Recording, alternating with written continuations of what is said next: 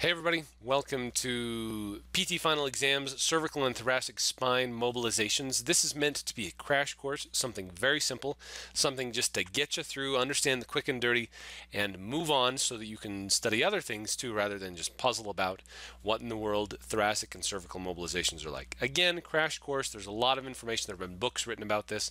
I simply want to talk about the basics and the things that are asked on many practice exams so that you would know how to answer and you know carry that forward into uh, your your clinical careers and how to mobilize and how to think about cervical and thoracic spine. All right, so just a crash course on the anatomy. This is the cervical spine. As we look over here at the C-spine, you'll notice that as a general rule, the superior articular surface and the inferior articular surface, if I can draw it right, are at about a 45 degree angle. Now that 45 degree angle is important to remember because when you are mobilizing them, you're going to want to have the vertebrae travel in that direction, or mostly in that direction, in order to get the best mobilization. Because if you went, you know, let's say at the opposite 45, you'd not have as much mobilization, you'd have more compression. So you want to avoid doing that and do mostly moving in mostly mobilize it in the direction of the articular surfaces as a general rule. And so another thing to note is that the spinous process is relatively close in the same plane to the transverse processes, which you can't see really well in this particular um, this particular view, this shot of it. Uh, this comes from the old Gray's Anatomy textbooks, but in essence, it kind of shows the same thing that the transverse process you know, the anterior tubercle coming right there. Basically, this whole transverse process is about right here, and the spinous process about right there. So again, about on the same level.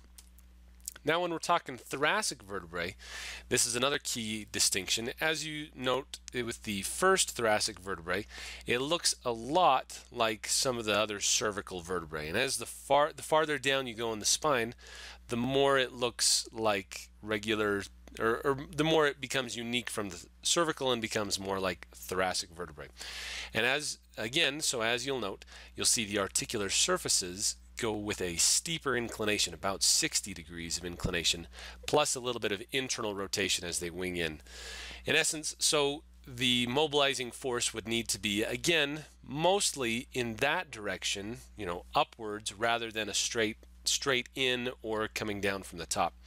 Now the other thing to note is that the spinous process, even in C1 or T1 all the way down to T9, 10, 11, 12, the spinous process is at a different level than the transverse processes. So again, look at that. There's there's definite definitely a gap between the, the spinous process and the transverse process.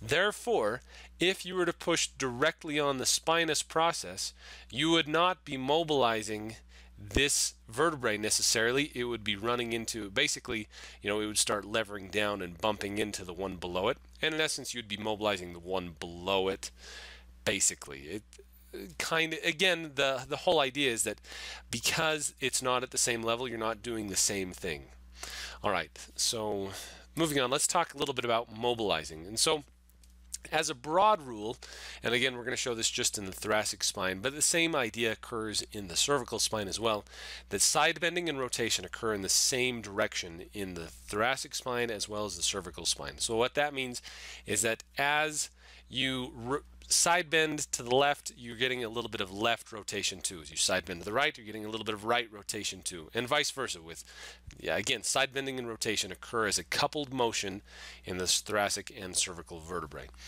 All right, so let's just for definition's sake here, when if we're talking about the ninth or ninth thoracic vertebrae, as that vertebrae comes, let's say, you know, so obviously this is looking at the right side of the T-spine. As you bend away, so let's say you're bending left and rotating left, what happens is that this articular surface, starting right here, is moving up and around the other side because the other side is going down and around the same way, coming down and around like that. So in essence, you're getting this rotational force on T9, and this is what is called opening or gapping. Yeah, opening or gapping of this particular articular surface. Now again, when you're turning from one side to the other, the typically the opposite is happening on the other side. So on the left side, or on the side that is not visualized, you'd have a closing closing movement or an approximation. So with that approximation, let's we'll just go down here to this next one. With approximation, you're coming down and in to that surface. Basically, this whole thing is moving downwards, and it's generally what you'd consider approximating or coming closer. All right, so there you go. We've defined opening as coming up and away as if the joint is pulling itself apart and the closing approximation is bringing everything back together again. All right, so what happens when you start mobilizing these things? Again, it's, it's all relative. Now consider what joint you're talking about and what your goal is. So here you go. Try this out for size. In order to, let's say we're talking about this articular surface again, here on between T9 and T10. In order to open this, so we're going to be talking about opening, in order to open or gap this articular surface, you can you have two options. You can take this portion of the articular surface and move it up and around to open it or you could potentially again this is all relative you could fix the T9 and move the 10 down and over this direction. Basically these two surfaces are coming apart and you can do it either way. You can move T9 up and away or move T10 down and inward all right, so here here comes the key. Well, let's talk about closing just briefly. We're going to go down here one facet joint. So now observe this next facet joint below. So to talk about closing, in order to close, you have to do one of two things. The top vertebrae has to come down and in like that, or the bottom vertebrae has to come up and around like that. There's only those two options, and it's all relative. Again, making this key distinction between opening and closing a facet joint. All right, so here's the real trick. With the thoracic spine and the cervical spine, we have a heck of a time trying to give an anterior to posterior force. We simply cannot get a good handle and push through the gut and push things backwards. Therefore, we're left only with one option, a posterior to anterior mobilizing force. All right, so in order to get a posterior to anterior mobilizing force to open this T9, T10 articular facet, our option is to press on these transverse processes here of T9, pressing PA or posterior to anterior glides, posterior to anterior glides. By so doing, we move the thoracic vertebrae uh, forward or anteriorly. And if you wanted to do this unilaterally to help with, so again, if you're doing it bilaterally, you're going to help with gross flexion. If you're doing it unilaterally, you're helping with rotation to the opposite side. So if you press on the right, so this one that we visualize, if you press on that right transverse process, it's going to rotate around to the left. Hope that makes sense. You press on the side that you're trying to open and that's the only direction, the only really option you have in pressing on the top one in order to open it. Now the other thing, or the, uh, the opposite is also true for the closing restriction. So again, down here in the closing restriction, or the closing issue, if we want to work on the closing, you only have really one option. You can't give an anterior to posterior force, rather you must go posterior to anterior. Therefore, your only option is to press from posterior to anterior, PA glide, on the lower, so in this case we're talking about T1011 articular surfaces, you would have to press on T11 anteriorly to create a relative posterior glide on that T1011. So again, it's all relative. This is kind of mind-blowing if you haven't thought about this before, but it's all relative. You only have the posterior to anterior glide to really consider. Uh, generally, you know, I, maybe there'd be some exceptions somewhere somehow, but as a rule, posterior to anterior glides have to follow these rules. That you have to, in order to open, you press on the superior vertebrae.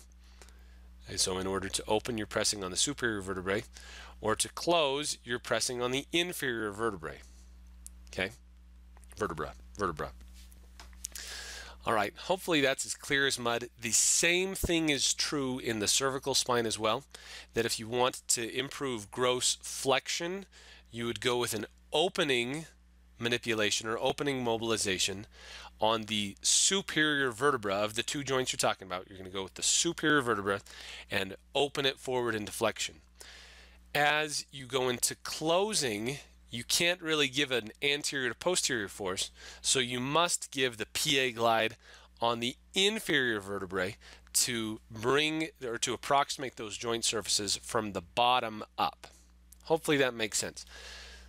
Again, don't want to beat it too far to death, but I think I've explained that. If that if it's still unclear, you might rewind and just review this one more time. But again, side bending and rotation occur in the same direction in the C-spine and T-spine. Therefore, if you have an issue turning left, turning left and side bending left occur in the same plane. So in order to improve turning to the left, you've got two options. You can help with the closing on the left or help with the opening on the right. And we've discussed how with opening you mobilize the superior vertebrae and with closing you mobilize the inferior vertebrae. There you go. And it'd be opposite for right rotation. Closing on the right, opening on the left there you go. Just brief conclusion. Um, closing and approximating are essentially the are, essentially, essentially extension in the cervical and thoracic spine. And when you're working with rotation, you are unilaterally opening one side, uh, unilaterally, unilaterally opening one particular facet and closing the other facet as you rotate around. Okay, side bending and rotation occur in the same direction in the C-spine, T-spine. Side bending and rotation occur in the opposite direction in the lumbar spine and in C1, C2. There's still some discussion about how that coupled motion actually occurs at C1, C2. The good news is that those slight nuance, nuances are probably not going to be tested. Rather, they're going to go with the bread and butter C-spine, T-spine type mobilizing force. There's a great article there at uh, put the link there for you so you can check that out later. Anyway, this has been a, a great brief session about thoracic and cervical mobilizations. Thanks for watching. Really appreciate it.